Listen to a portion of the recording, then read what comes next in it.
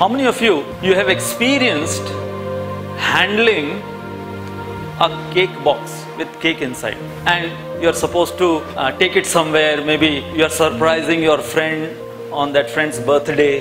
So you are taking a nice cake cream cake with a lot of icing and all those decorations on top with the icing the name written and everything.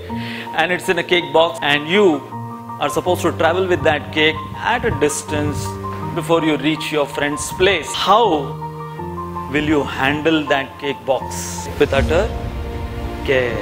Handling that cake box with that utter care is like handling relationships.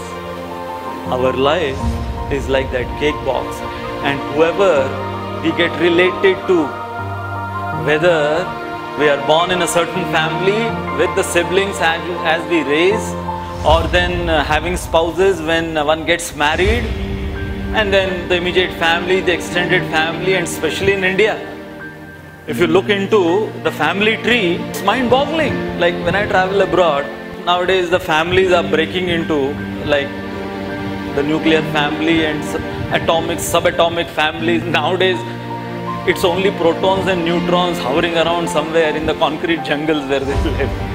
Forget about the nuclear families also breaking apart. Simply protons and neutrons here and there. So, but in India still, you have the family structure and the relations are also that this is something which is very healthy for us because we get to experience all different mindsets, all different psychologies when we grow in a family like that or in a society like that.